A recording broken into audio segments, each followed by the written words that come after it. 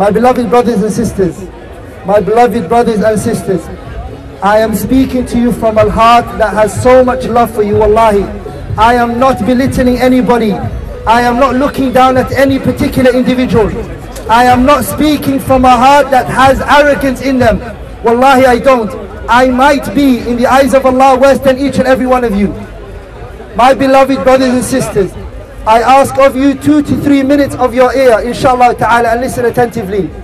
Brothers and sisters, you just fasted the month of Ramadan. You just prayed Taraweeh, Qiyamul Layl. You worshipped Allah. Why are you going to destroy it by going against Allah's commands? Allah says in the Quran, وَلَا تَكُونُوا كَالَّتِي نَقَضَتْ غَزْلَهَا مِنْ بَعْدِ قُوَّةٍ Do not be like the woman who made a knot. When she made her knot, what she did was is that she untied her knot in the evening. You've put so much effort in. You've put so much hard work in. Why are you going to undo your hard work?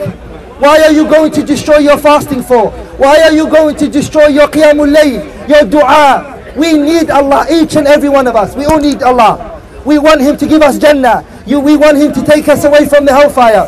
Why are we going against His command? All we're saying to you brothers is Jannah can take all of us. We just want you to come with us to Jannah. We all want to make it to Jannah. Brothers and sisters, brothers and sisters, wake up. This is not right, wallahi. And Allah subhanahu wa ta'ala placed in every one of us, every one of us, the ability to understand what is good and what is bad. Allah says in the Quran, إِنَّمَا يَتَقَبَّلُ اللَّهُ مِنَ الْمُتَّقِينَ Allah accepts from those who are pious. When Allah accepts an action from you, it's an indication that you are pious. We ask Allah to accept Ramadan from us. We accept, we ask Allah that He accepts our standing, our qiyam and everything. We also ask Allah that He doesn't make us people who destroy their hard work. Brothers, pay attention to this hadith. Righteousness is not about how good you lived your life. It's not. The messenger said, إِنَّمَا الْأَعْمَالُ بِالْخَوَاتِيمِ Verily, what Allah observes is your last minutes of this world. It's how you die. So that is why every day you're on your toe. You're making sure that you're working hard. My beloved brothers and sisters, أَفِيقٌ مِّن نَوْمِكُمُ الْعَمِيقِ Wake up from your, your deep sleep and smell the coffee. Allah subhanahu wa ta'ala honors a people, honors a household and a nation who have surrendered their affairs to Him, who have remembered Him. Allah does not accept the dua of the criminal. The Messenger told us in a hadith, رجل يطيل السفر أشعث أغبر يمد يديه إلى السماء A traveler, a man who was a traveler, he was traveling and he felt pain and agony. So he lifted his hands up and he said, Oh Allah, Oh Allah, take me out of my pain. Oh Allah, make matters easy for me. But what happened? Allah said, I'm not going to accept his dua. Why? He said, يا رب يا رب ومطعمه حرام وملبسه حرام وغذي بالحرام فأنا يستجاب لهذا He was a man who lived upon haram. He lived a way which was haram. How is Allah going to accept his dua? Many emails come through, youngsters, my brothers I love, and they complain about depression, anxiety, pain, marriage problems, etc. The reason is because you did not make sure you were there when Allah told you to be there. And now that you're in pain, Allah has forsaken you. فَمَنْ ضَيَّعَ اللَّهِ فَلِمَا سِوَهُ أَضْيَعَ Anyone who forsakes Allah is going to forsake everything in his life. Brothers, youngsters, youth, wake up. Realize what is right and what is wrong. And don't forget, don't forget, Allah is not worshipped at a period of time. The Lord of Ramadan is the Lord of every other month. I'm going to remind you when the messenger died and our prophet died and his body was there. the companions were around him, sallallahu alayhi wasallam.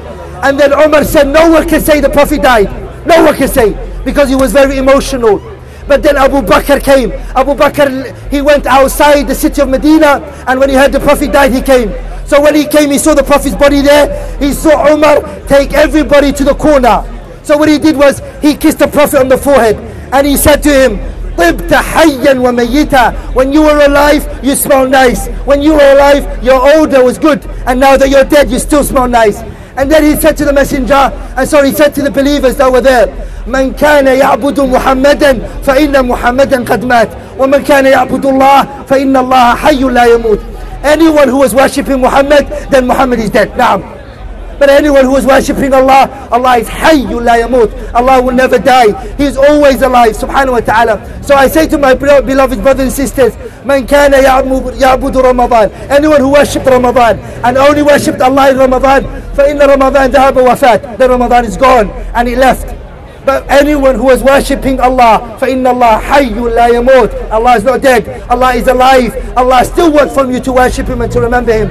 Brothers, remember what is right from what is wrong والإثم ما حاك في صدرك وكرهت أن يطلع عليه الناس many of us already know what's bad and what's wrong the ones that are there they don't need to be told they already know what they are doing is wrong because Allah placed inside you a chip that tells you what is right from what is wrong my beloved brothers and sisters work hard that is why when Ramadan goes there are another six days after Eid there are six days for you to fast again by fasting those six days by fasting those six days, it's as though you fasted the whole year.